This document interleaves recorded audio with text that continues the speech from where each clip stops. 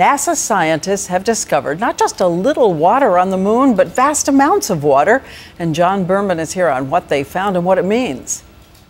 In just this one moon crater, the equivalent of 1 billion gallons of water, enough to fill 1,500 Olympic sized swimming pools. And if there's that much in one crater, there's no telling how much more there is on the moon as a whole. But scientists say much more than they ever imagined liftoff. This is all the result of a flashy $79 million experiment NASA launched last year, the so-called moon bombing. The idea was to send a rocket crashing into a crater and then analyze the makeup of the dust cloud.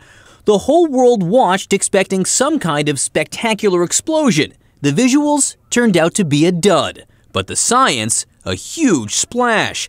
It kicked up ice particles containing 50% more water than their highest predictions. Why does this matter? With that much water, astronauts could live off the land. The melted down water could supply a hypothetical lunar base. If we're going to explore, the moon is in our future and we will go there. And liftoff of The thing is, right now, the U.S. has no plans to visit the moon. President Obama canceled the mission to go there. I, I just have to say, uh, uh, pretty bluntly here, we've been there before. In the near term, it may be China or India that gets to quench their thirst. Both have pledged to reach the moon in the next 15 years. Some American scientists we heard from today say they hope the new discovery will make the White House reconsider its plans to cancel the moon mission. They found much higher levels of hydrogen and other elements on the moon that could be used for stuff like rocket fuel.